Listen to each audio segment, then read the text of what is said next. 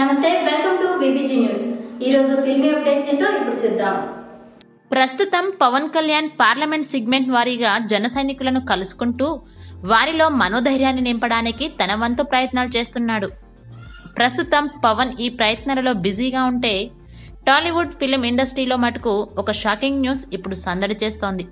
పవన్ ఇప్పటికే అడ్వాన్సులు తీసుకుని Mythri movies DVV Danayya AM రత్నంలను పిలిచి కథలు సిద్ధం చేసుకోమని సూచనలు ఇచ్చినట్లు వార్తలు బయటకొస్తున్నాయి.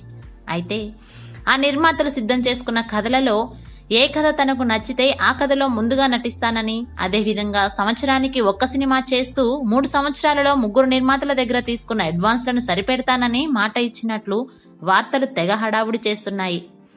దీంతో ఈ ముగ్గురు నిర్మాతలు స్పెషల్ స్టోరీ టీంలను ఏర్పాటు చేసి ప్రస్తుతం పవన్కు ఉన్న ఇమేజ్ రీత్యా ఎటువంటి కథ సరిపోతుంది అన్న విషయమై చర్చలు చేసి కొన్ని స్టోరీ లైన్స్ను త్వరలో పవన్కు వినిపించబోతున్నారు అన్న వార్తలు ఉన్నాయి.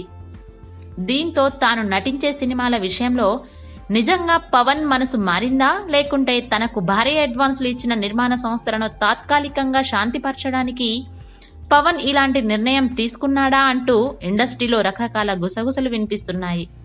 ఒక విధంగా పవన్ అభిమానులు కోరుకుంటున్న కోరిక ఇదే అయినప్పటికీ నిన్న నరసాపురం పార్లమెంటుకు సంబంధించిన జన సైనికులతో పవన్ చేసిన కామెంట్స్లో మటుకు తన ఫిల్మ్ రీఎంట్రీ గురించి ఎటువంటి లీక్లు ఇవ్వలేదు.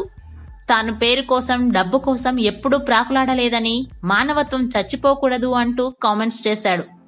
ఓటమిలో మనతో నడిచేవాడే నిజమైన మిత్రుడు అని అంటూ తాను మళ్ళీ ప్రజా పోరాటాలు చేయడానికి రోడ్డు మీదకు వస్తాను అని చెబుతూ ధైర్యం చెప్పినప్పటికీ ఏ విషయంపై తాను రోడ్డు మీదకు రాబోతున్నాడు అన్న స్పష్టమైన క్లారిటీ ఇవ్వకపోవడంతో మరొకసారి గంటసేపు కొనసాగిన పవన్ ఉపన్యాసాన్ని అచేతనంగా జన సైనికులు విన్నట్లు టాక్.